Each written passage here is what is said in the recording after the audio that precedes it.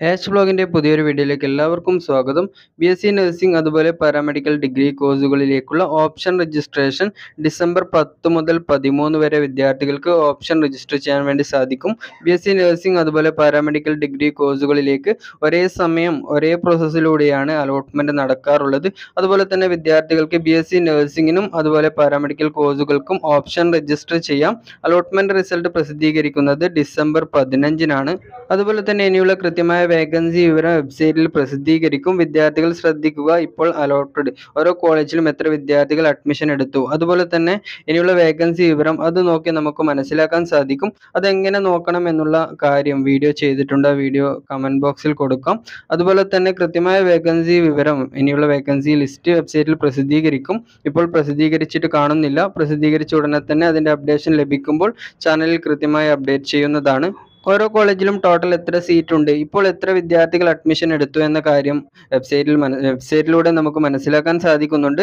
അങ്ങനെ വേക്കൻസി വിവരവും നമുക്ക് മനസ്സിലാക്കാൻ സാധിക്കും. ബി എസ് സി നഴ്സിംഗിന് ഓരോ കോളേജുകളിലും ഗവൺമെന്റ് കോളേജുകളിലും സീറ്റ് വർദ്ധിപ്പിച്ചിട്ടുണ്ട്.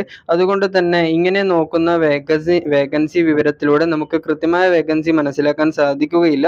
വെബ്സൈറ്റിൽ ഇനിയുള്ള കൃത്യമായ വേക്കൻസി വിവരം പ്രസിദ്ധീകരിച്ചാൽ മാത്രമേ കൃത്യമായ വേക്കൻസി മനസ്സിലാക്കാൻ സാധിക്കുകയുള്ളൂ. പാരാമെഡിക്കൽ ഡിഗ്രി കോഴ്സുകൾ ആഗ്രഹിക്കുന്ന വിദ്യാർത്ഥികൾക്ക് ഇങ്ങനെ ഓരോ കോളേജിലും എത്ര വിദ്യാർത്ഥികൾ അഡ്മിഷൻ എടുത്തു ടോട്ടൽ സീറ്റ് എത്ര എന്ന് നോക്കി ഇനിയുള്ള വേക്കൻസി വിവരം മനസ്സിലാക്കാൻ സാധിക്കും.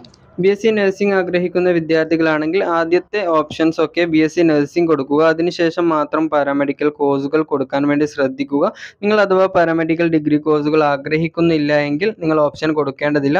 അഥവാ ബി എസ് സി നഴ്സിംഗിന് ഫസ്റ്റ് ചോയ്സ് നമ്മൾ കൊടുക്കുന്നുണ്ടെങ്കിൽ ആദ്യത്തെ ഓപ്ഷൻ ഒക്കെ ബി എസ് സി നഴ്സിംഗ് കൊടുക്കുക. അതിനുശേഷം പാരാമെഡിക്കൽ ഡിഗ്രി കോഴ്സുകൾക്ക് ഓപ്ഷൻ രജിസ്റ്റർ ചെയ്യുക. അതല്ല പാരാമെഡിക്കൽ കോഴ്സുകളാണ് നിങ്ങൾ ആഗ്രഹിക്കുന്നതെങ്കിൽ ആദ്യം ആദ്യത്തെ ഓപ്ഷൻസ് ഒക്കെ പാരാമെഡിക്കൽ കോഴ്സുകൾ ഓപ്ഷനായി വെക്കാൻ കോളേജുകൾ ഓപ്ഷനായി വെക്കാൻ ശ്രദ്ധിക്കുക ബി എസ് സി നഴ്സിംഗ് അതിനുശേഷം ഓപ്ഷനാക്കി വെക്കുക.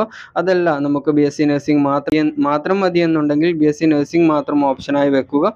പാരാമെഡിക്കൽ നമുക്ക് മാത്രം മതി എന്നുണ്ടെങ്കിൽ അതും അതുമാത്രം നമ്മൾ ഓപ്ഷനായി വെക്കുക. ഏതെങ്കിലും കോളേജ് നമ്മൾ ടാർഗറ്റ് ചെയ്യുന്നത് ടാർഗറ്റ് ചെയ്യുന്നുണ്ടെങ്കിൽ ആ കോളേജ് തന്നെ ആദ്യത്തെ ഓപ്ഷൻസ് ഒക്കെ പാരാമെഡിക്കൽ കോഴ്സുകൾ വെക്കാൻ വേണ്ടി ശ്രദ്ധിക്കുക. അതല്ല ബി എസ് സി നഴ്സിംഗ് അങ്ങനെ കോളേജ് നിങ്ങൾ ടാർഗറ്റ് ചെയ്യുന്നുണ്ടെങ്കിൽ നിങ്ങൾക്ക് ആഗ്രഹമുള്ള college first B S C നഴ്സിംഗിന്റെ ഓപ്ഷനായി വെക്കാൻ വേണ്ടി ശ്രദ്ധിക്കുക.